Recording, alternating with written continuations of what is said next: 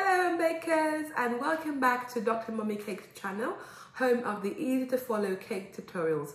My reason for making this channel is to help you, home bakers and cake making beginners, um, learn to make cakes that taste absolutely amazing and not just teach you how to make cakes, but also equip you with the skills to decorate the cake so that you create a cake that is wow and amazing. On today's tutorial, I'm going to be talking to you about a fundamental thing for all home bakers, beginner bakers, professional bakers. You need to know this. If you don't fully understand or if you scrimp on this particular issue, don't be surprised if your cakes don't turn out well. Today we're going to be talking about measuring and I'm going to be showing you the different tools that I use when I'm making my cakes and my frostings so that you can learn how to measure properly and make cakes that taste amazing. So I'm going to be showing you the selection of um, my measuring instrument and really home bakers this is about all that you need. As long as you've got two or three um, measuring equipment, you are good to go and ready to start making cakes. So here are my um, equipment that I use uh, for measuring my baking goods. You need a scale. Um, this one was an inexpensive one um, that I got from the supermarket. Uh, in hindsight, I would say buy the best quality scale that you can afford. You also want to have a scale that measures in uh, different um, units of measurement, so in milligrams, in milliliters, uh, in pounds and ounces, and also have a weighing scale that measures in small quantities, a gram increments or less, so that you can be very accurate. And you're going to use your measuring um, scale for weighing large quantities, so for weighing up butter, um, sugar, flour, that large quantities, you'll need a weighing scale. Some weighing scales have a built-in um, bowl that you can measure or something like this that you can measure it. So that's the weighing scale. And I would say a weighing scale is a must-have for every home baker. You'd also need other equipment for measuring smaller quantities, both for dry goods and for wet goods. These tools are used for measuring smaller quantities. Uh, these are measuring cups and measuring spoons. This is also a measuring spoon.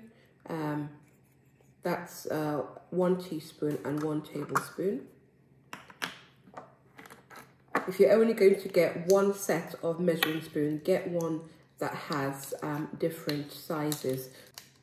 This one goes from an eighth of a teaspoon right up to one tablespoon and you're going to use this for measuring um, dry goods in smaller quantities. So you use it to measure things like uh, baking powder, baking soda, salt, and smaller quantities.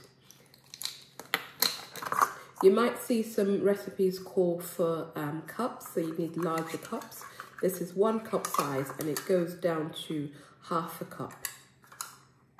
I'm going to show you how to accurately measure using um, your weighing spoon and it's important that you measure correctly because if you don't measure correctly you'll get the wrong amount and that will mess up your recipe. So here I've got a bowl of sugar. Now this is not how you do that or a heaped one, no. What you need to do when it says uh, a teaspoon or a tablespoon, it means a level tablespoon.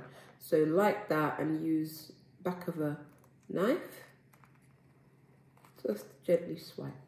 So this is a tablespoon of sugar. And you do that when you're using either the tablespoons to measure or when you're using cup.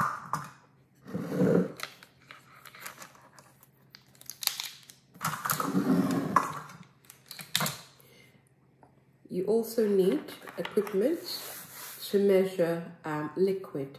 So this is a measuring cup for measuring smaller liquids. For bigger ones, you have uh, measuring uh, jars of varying size. Um, and again, make sure you have uh, one that measures both in cups and in milliliters because different recipe will ask for different um, ranges of measurements. So home bakers, these are the different types of measuring utensils that I use in my baking. Which one of them do you have? Do you have all of them? If not, which one would you think that you're going to buy next? Drop me a comment or you can find me on Facebook, Instagram, and I'm also on Pinterest. If you haven't subscribed, click the subscribe button. It's literally just there and all you have to do is click. Thank you. I will see you next week. Enjoy baking, enjoy making cakes, and stick with me. You'll be learning how to make amazing cakes in no time.